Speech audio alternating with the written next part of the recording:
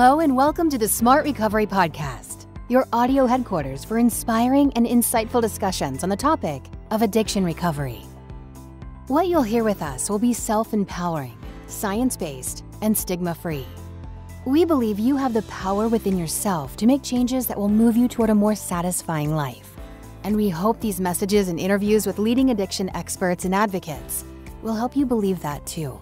Remember that the purpose of this podcast is to educate and inform. It is not a substitute for medical care from a doctor or other qualified medical professionals. Before making any changes in your treatment plan, please discuss your thoughts with your medical provider. Welcome to the Smart Recovery Podcast. I'm Luke Frazier, your host. Today we have a very special guest. He's Dr. Reid Hester. He's a psychologist and a researcher. He has a doctorate in uh, psychology from Washington State University and I believe your undergraduate degree is from University of Washington. How, how does that work, Reid? Uh, aren't they arch rivals? Well, yes, and, and when there's the Appleday uh, Bowl where the, the WSU plays UW in the football game just before Thanksgiving, I always win. Yeah, exactly. exactly. That's called playing both sides of the fence. I like that. Um, well, and actually, one reason I went there is because um, I was a poor student at the time, and uh, so I had in-state tuition in both places. Okay, that's good. back then made a huge difference. Yeah, actually, absolutely. Um, so yes, I am glad you're on the podcast. Thanks for being here. Mm-hmm. Um, I would like you to start, Reid, just with uh, a little bit more about your personal and professional background. We've heard about your education, but uh, what else? What was your journey like from uh, from in, into the position you are now? Gosh, um, that was way back, um, actually, to my undergraduate years. Um, right after I graduated uh, from the University of Washington, I, I took a year off, and, and uh, in that winter of 1974, um, I ran into Alan Marlatt, uh, who at the time was had just come down from University of British Columbia um, to Seattle, uh, and he was looking for help running experiments. And so I agreed to be a Confederate in an experiment on uh, heavy drinking in college students and the influence of other people's drinking on, on the subjects drinking. And that led to a, a sequence of, of um, uh, recommendations when I started to graduate school. Uh, Alan said, we got to look up Warren Garlington. He's a, he's a you know, well-known figure in, in alcohol problems at WSU. And so I met him and, and we worked together. I was a pre-doc fellow of his. And when I got an internship uh, in Albuquerque at the VA, where I was I was in Albuquerque for 35 years. Um, uh, Warren said, "We ought to meet. Uh, you ought to run into Bill Miller. He's a rising star down there." This is like 1978, 79, mm. 78. And so I met up with him, and he and I developed a collaborative working relationship that lasted decades until he retired a few years ago. Um, you may know him from motivational interviewing. Mm-hmm. Uh, and evidence-based protocols. Uh, Which are a big part of uh, smart recovery, as you know. Pardon me? Which are a big part of smart recovery, as you know, the motivational interviewing. Oh, yes, yes. Um, and that's in no small part um, uh, because of Tom Horvath, who was one of the original one of the original presidents of Smart Recovery, um, and his his focus on empirically supported protocols and their translation and adaptation into mutual support groups. And that's how I met. Uh, that's how I got involved with with Smart Recovery was through Tom Horvath. Mm-hmm. He and I met at, a, at an addiction conference. Gosh, probably well more than forty years ago, um, and we just hit it off because we're kindred spirits. Mm-hmm. Um, and uh, so that's how uh, I think it was. It was now actually 20 years ago that he asked me to be on the board of professional advisors, uh, and I agreed to it. Um, I, and um, I subsequently got involved with developing a, a um, an abstinence-focused protocol for people with alcohol and drug problems, which we did in collaboration with Smart Recovery.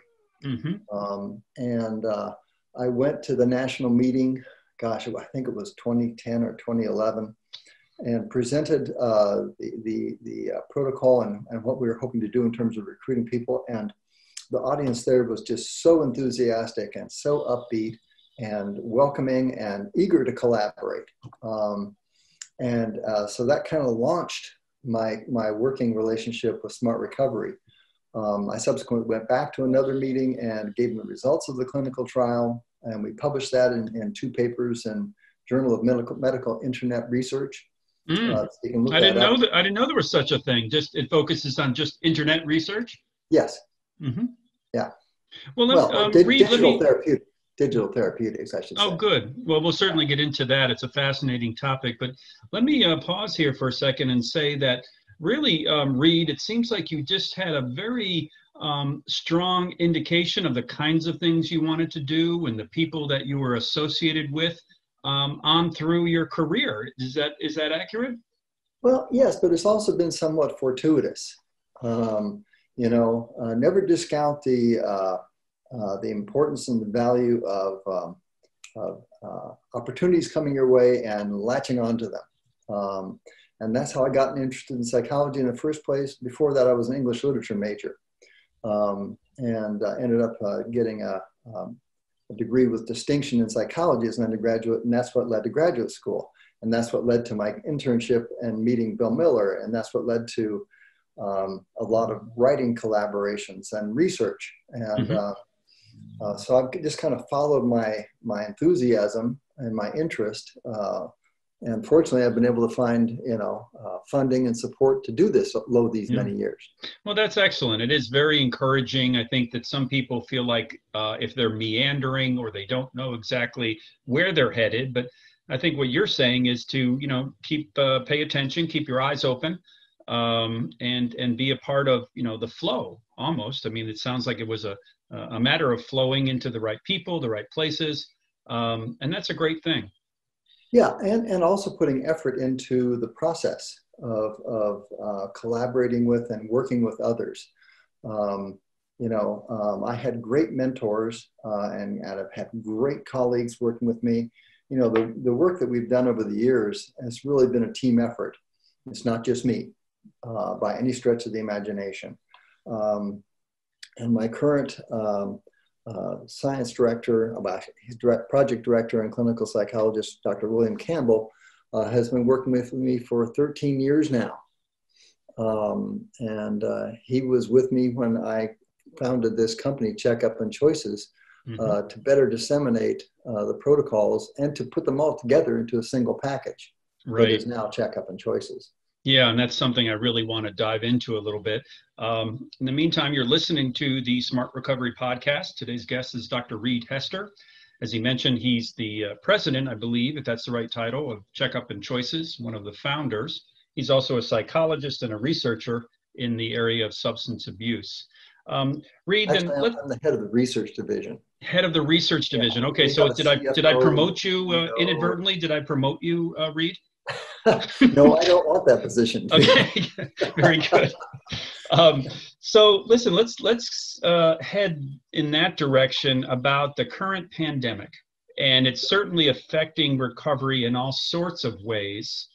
Um, I know that checkup and choices and other digital interventions are becoming more and more important. Uh, what, what would you say, or how in general is the current pandemic affecting recovery? Well, um, you know, the, the bad news is that it is, um, it is leading to a significant increase in binge drinking, and particularly in women. Um, that article in JAMA just came out uh, a couple weeks ago. 41% increase uh, in binge drinking episodes in women this wow. year. Wow. Yeah. yeah, just this year. Um, I put a link to it on my Facebook page uh, at Checkup and Choices uh, if you want to like that, you know, you can, you can dig mm-hmm. down and find it. Um, but uh, and, and there's there's increase in men, but it's not as nearly as significant as in women. Um, and fortunately, um, on, on, the positive side, uh, women seem to um, be attracted to and uh, um, and use our, our digital tools. Um, and in our clinical trials, 60% of, uh, of our study participants have been women. And that has held true uh, since the early 2000s in all of our clinical trials. So, d- does that mean women have been early adopters of some of these digital tools, and including the ones that uh, that you've developed? Well, you know, it's hard to say um, because uh, we've structured these as standalone self-guided uh, interventions. Uh, so uh, unless someone contacts me with a question or uh, a comment or a suggestion, um, uh, we don't we don't routinely um, interact with, with our subscribers. we, we value their privacy and their confidentiality, and we don't want them to be receiving emails, you know, from us um, without their permission. You know, we do have a guided email program within the protocol uh, that sends out an email once a week, you know, helping them through the program, but that's something that they have to sign up for. Mm. And they can also create custom text messages and custom emails, uh, but they have to they have to initiate that, mm-hmm. um, and then the program continues on with that. Right, and it certainly is the case, however, that you know part of that anonymity is probably important, but just the fact that it's digital and can be accessed. I mean, is that is that a reason that um, uh, that, that because of the pandemic, its uh, recovery tools have had to broaden in this way? Well, um, I, am not sure that they've had to broaden as much as they've been here. Um, I mean, our first uh, web application went online in 2002. Um, but it's just that people are, are paying more attention to it because you know what used to be face to face has gone to zoom meetings mm-hmm. um, and uh, you know to be honest they are not as um, they are not as helpful they're not as impactful as face to face meetings. Um, and uh, I, I, have no doubt that uh, they're just not as as useful. Um, i mean i'd rather walk down the hall and talk to my programmers um, rather than have a zoom meeting with them. Mm-hmm. and um, so I think that's very true. That's that's the human interaction you're talking about, Reid, and right. that worries me a little bit because of this. Uh, you know, more meetings on uh, Zoom, more interactions. I mean, can there be the necessary connection to other people through these tools? Now, obviously, you're an advocate because you've been working in the field with these tools. Well, it, it, we have the evidence that it's effective, uh, but in our clinical trial of what was then Overcoming Addictions, which is now the abstinence protocol in Checkup and Choices, uh, we found that combining uh, um, using the resources of Smart Recovery along with the web application that we developed um, yielded the best outcomes. Uh, but that's, that being said, people who did not go to meetings um, but just use our web application, which is something that they did on their own. Uh, we did we initially had actually tried to recruit people to do that, and, and most people said, "No, I'm not going to do that. Mm. I refuse to be, you know, uh, to, to not be allowed to to attend meetings." But it ended up that there was a, a small minority of people who didn't go to meetings and just used our web application. Um, and they had uh, they had slightly more um, anxiety and mood disorder issues than those who attended group meetings. Uh, but uh, and their the recovery, their, their reduced drinking and their reduced alcohol related problems was pretty similar to those who did, but still the trend was for the people who went to meetings and, and um, used the resources of smart recovery as well as our protocol to have the best outcomes. Right. So a combination. Always recommended. It's not an either or. Mm-hmm, mm-hmm. And what's interesting is that when we, um, at the exit interview at 12 months, when we asked people, you know, what resources did you use uh, to help yourself? They mentioned us. They mentioned uh, smart recovery meetings. They mentioned their pastors and ministers. Uh, they men- mentioned their family members. Um, so people are using, and therapists, people are using a wide variety of, of tools to, um, to address their issues and concerns, uh, which I think is, is, is great.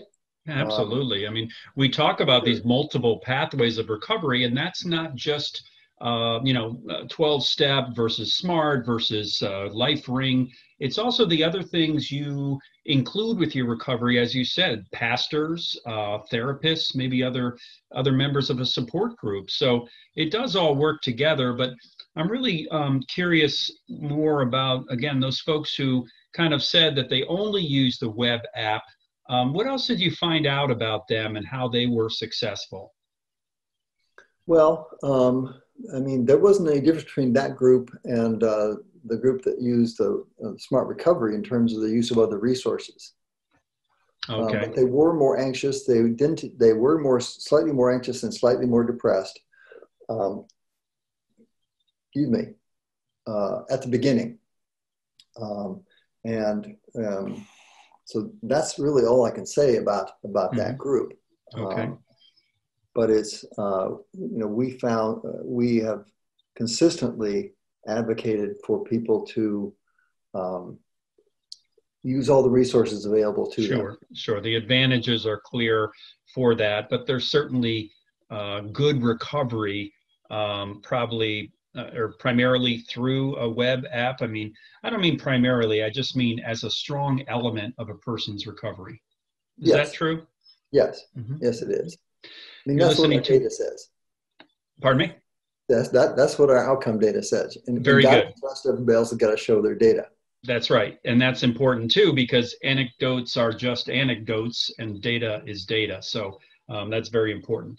Uh, you're listening to the Smart Recovery Podcast. Our guest is Dr. Reid Hester. We're talking about web based applications in recovery. We're talking about digital interventions and some of the research and the results of the research. Um, what are some of the challenges, Reid, about using effective, uh, the effective use of web based tools? You know, I'd say the primary uh, challenge for uh, for subscribers and for us as providers uh, is engagement, is continued engagement. Um, and uh, we do have uh, some indication that uh, the more people engage with our application, uh, the better their outcomes. Um, but that's not always the case. Mhm. Uh, sometimes people, uh, you know, go through our protocol and they get it. They, they, they, figured out this is what I need to do to get better. Um, and, uh, and thank you very much. I'm out of here. And we're fine with that. Sure, that's the positive result. yeah. And others, you know, uh, log in and work and work and work at it and still do not have good outcomes. I mean, we're we're not a, a cure for everybody, that's for sure. Um, but um, we're, we're one path uh, amongst many that people can take, and we encourage people to take as many different, uh, use as many different resources um, as they can, uh, whether that's medication, uh, psychotherapy, counseling, uh, mutual support meetings, um, family members, uh, friends, social support networks, um, you know, you name it. Mhm. Um, if that's what works for you, that, that's that's what we're most concerned about. That's what we, That's right. doing. Es- Especially as uh, we started out talking about this pandemic and how it's really, uh, you know, having a negative impact, especially as you said, among women binge drinkers. But also, I know that the opioid overdose deaths have increased during the pandemic and other kinds of things. I, I guess there was also some data about just alcohol sales during uh, the pandemic, which you know Oh, you can yeah. associate with. Now, there's may not be causation, but you can certainly associate that with potential abuse. Oh yeah, yeah. Um, the uh, the data on sales, uh, both in the United States as well as worldwide, uh, is just startling. Um, and but both in-person sales as well as um, online sales of alcohol. Hmm Oh, and the in person, I mean, I don't know about you're located in California right now. In Ohio, there's been problems with uh, in person drinking, you know, bars that stay open late. And one of the things that the, uh, that the state has done is uh, set the curfews earlier for the bars and when they can sell alcohol. Um, so there's all kinds of strategies they're trying to, uh, you know, intervene with uh, the spread of the coronavirus. But that's an entirely other uh, other program. Reid. Um, let me but, get but back. it is true. It is true that um, you know. I mean, if you read the science, the JAMA articles, the CDC uh, uh, papers, it is true that um, being in, in enclosed spaces, in close proximity to other people who are uh, talking at you often loud um, and not wearing masks uh, is is a recipe for um, a super spreader event. hmm Um, hmm and um, there's just kind of no getting around that. Um, Right. uh, And the involvement of alcohol, the involvement of alcohol in those settings is certainly why people may be talking louder, or there may be loud music, or there's less use of masks. So certainly that is, uh, as you say, that's been pretty well documented. Um, well, and the more people you have in a room talking, the louder it gets. True. That's true. If there's no music going on. Mm-hmm. You know, you put 20 people in a room and it's going to be louder than if there's three people in the room. Absolutely. Absolutely. Yeah. Let's go back for a moment to the checkup and choices protocols. Sure. Um, can you make a um, just kind of a uh, simple pathway that people would have once they discover the digital app and, and then how they use it and, and what eventually can happen? Yeah, well, um, we, uh, we offer people uh, who come to our application from Smart Recovery, uh, and we have a special tunnel for them uh, uh, to take our screener, uh, which is a well valid, internationally validated screening protocol, and then our checkup if they're ambivalent about whether or not to change. But not everybody is. Um, and so, if you're ambivalent about whether to not to change or how you should go about doing that, uh, we recommend the checkup. If you're uh, if you've made the decision that I need to change my drinking now, uh, I don't need to you know be further motivated. Uh, then you just can go straight into the abstinence protocols that we've developed. Um, and we have one for alcohol, which is what we've evaluated in a randomized clinical trial. But we also have others for uh, stimulants, opioids, um, and um, compulsive and marijuana and compulsive gambling. Mm-hmm. Uh, and um, we have not had the opportunity because we haven't had the funding to evaluate these these parallel protocols. Our funding comes from uh, from NIH and NIAAA, uh, and it, um, the source is, the source the name of the funding is Small Business Innovative Research Grants.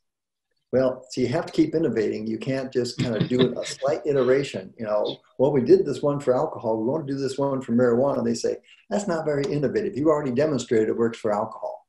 Okay. Know? So, um, and we're still looking for for resources uh, to uh, to help us uh, actually uh, complete the development of a marijuana checkup and then evaluate it in a clinical trial. Now, could it also then extend to other kinds of behaviors besides substance use disorder? Uh, any plans to innovate in that direction for you know, any harmful behaviors or, or internet addictions or self-harm, anything like that? I mean, you mentioned gambling, but anything else? Yeah, um, we don't. Um, even, even though the, the principles of behavior change and cognitive behavior change span the process of, of behaviors whether you, that are problematic and distressful to an individual. Um, we only have so much bandwidth. Um, and there's lots of other people who are working in mood disorders uh, and eating disorders um, and smoking. I mean, we never went into smoking because there's lots of good evidence based protocols for smoking cessation. Um, Including so, di- digital apps or web web based apps in, in well, that no, area? Thinking more of the quit lines and the and the nicotine replacement products and those things. Mm-hmm. Uh, I know that people have been working on uh, nicotine uh, applications, but I haven't seen any data on that recently. Okay. And speaking of which, um, let me just uh, caution the listeners um, to be uh, when you, when you look for applications to help you make changes, be skeptical. Carpe diem is the term. Okay. Because there are buckets and buckets of, of you know, self change um, protocols and applications on the App Store and on the web. Um, and the vast, vast majority of them have absolutely no evidence of effectiveness. Mm-hmm. They put them up there saying, well, we think this works, you know, um, and by the way, we'll want to charge you for it. Right. Um, right. And, and the, the number of protocols uh, that are empirically supported uh, and available to the general public are a handful. Mm-hmm. Well, that's exactly the, the one of the points of uh, smart recovery. You know, is the use of evidence-based and uh, principles that are testable, um, and and conduct uh, re- research is conducted. Um, and same with uh, checkup and choices. You're talking about empirical evidence and clinical trials. I think you said clinical trials. Is that, uh, is that true? Clinical trials, yes. And and you know, and that is where people can have some sense of uh, trust that if they use the tool correctly, they'll get results that are favorable. Yes, that's true. Mm-hmm. Um, what else with um, the future of these kind of web-based apps? Do you have any sense that are there competitors, if you will, to uh, to checkup and choices? Are there those that are currently doing research about their um, specific iteration of this kind of tool? Another group that is offering um, digital interventions for people with alcohol and drug problems is Chess Health, um, and they're a healthcare organization back east. Um, and they're offering this to people who are in treatment for substance use disorders. Um, and Kathy Carroll and her colleagues uh, have developed these protocols over years. I, I know them well, um, and uh, they have good evidence of effectiveness. Uh, so if a person is involved in, in substance uh, use disorder treatment, um, certainly uh, CBT for CBT, which is the name of their program, is something that we would recommend that they consider. Mm-hmm. And then there's another uh, uh, protocol um, called, um, hang on a second here, Vorvida, Vorvida, sorry, Vorvida, V-O-R-V-I-D-A. Uh, that's just come online in the last couple weeks. And uh, it's a moderate drinking protocol uh, that, that has evidence of effectiveness from a randomized clinical trial in Germany. Mm. And they have applied for, and I think they're in the process of getting uh, FDA clearance for its use as a digital therapeutic under prescription. Um, so there are some other, yeah, other groups that are kind of, are they kind of following in the footsteps of, uh, of, of, your work and, and uh, other, other innovators, other uh, pioneers? Well, Vorvida certainly is. Um, they're using a protocol that we've, we've had online for 20 years now almost. Um, Kathy Carroll took a different tact um, in focusing on the cognitive behavioral skills specifically, and then developing a series of videos, uh, short vignettes uh, that teach those skills and ask the people to, uh, you know, present questions. How would you respond to this? Um, that is much more uh, video based than mm-hmm. ours. Very interactive from uh, from a visual point of view. Yes. Yes. Correct. Yeah. Reid, and, what else? Uh, those are the two primary uh, colleagues uh, that I'm aware of uh, mm-hmm. that have good evidence of effectiveness mm-hmm. Uh, at people changing their drinking. Yeah. Reid, um, as we're starting to wrap up here, what what would you hope for uh, for people who are, you know, addressing their their substance use disorder, other kinds of things? H- how would you hope to help them the most effectively? Are there are there things that you're uh, working toward? Um, what what encouragement? Maybe let's put it that way. What encouragement do you have for folks? Sure. Well, uh, you know, there's, there's lots of hope of, of, reasons to be hopeful and optimistic. I know that's hard to say in these days uh, with our current political climate and polarization, and uh, and the pandemic take, taking hold and its impact on people's ability to deal with their issues in recovery.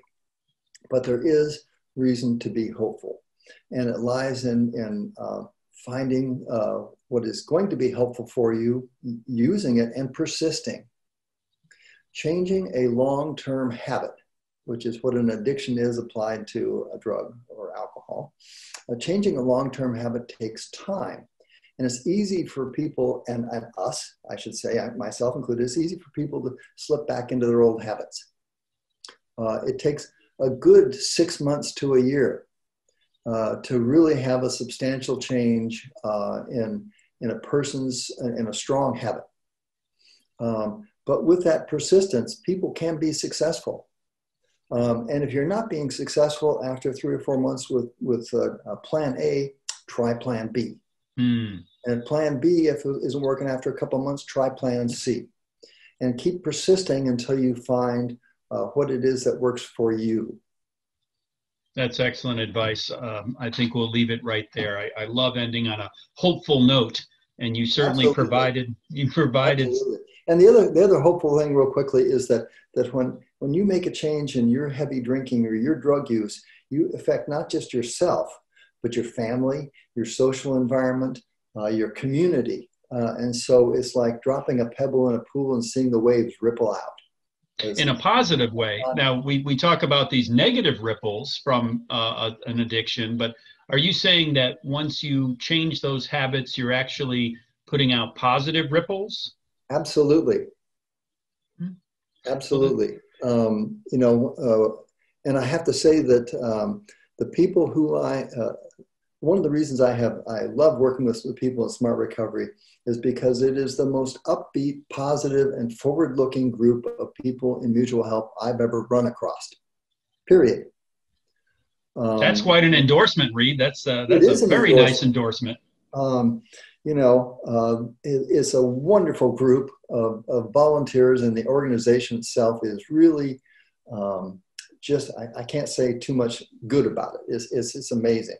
Um, and uh, all the work that the volunteers do is, is uh, you know, my hats are off to them. Great. Well, on behalf of Smart Recovery, I'll say thank you. right, well. We've been talking with uh, Dr. Reid Hester. He's a researcher and a psychologist associated with the uh, organization Checkup and Choices, which you can find out more about. And we'll be putting links to that in our blog post and write up of this episode of the Smart Recovery Podcast. Reid, thank you so much for joining us. Oh, it was a pleasure. It was an honor to be able to come in and, and uh, talk with you and, and your listeners uh, about this. I mean, there's, there's, there are many reasons to be hopeful and upbeat. Thank you. And uh, so this is Luke Frazier, your host for the Smart Recovery Podcast. Until next time, stay healthy and stay connected.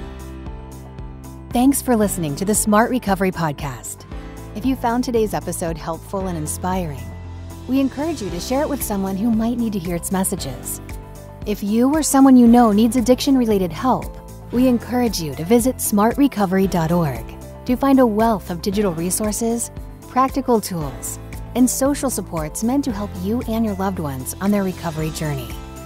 While there, you can search for a local smart meeting near you or join our online community to find 24 7 access to recovery help through regular online meetings and helpful message boards and forums. All of our meetings and online community resources are completely free of charge. Be sure to connect with us online to get more helpful addiction related resources. Visit our website at smartrecovery.org where you can search for local meetings, join our online community, subscribe to our e newsletter, and find regular blogs, videos, podcasts, and more. You can also help us to spread our self empowering, science based messages to more people who need to hear from them in important ways. First, get trained on the Smart Recovery Program. If you are a licensed healthcare provider and could benefit from using Smart Recovery in your professional work, or if you are someone who would like to volunteer and lead smart recovery meetings in your community. Please check out our training and volunteer opportunities at www.smartrecovery.org/training. Second, donate to support our work.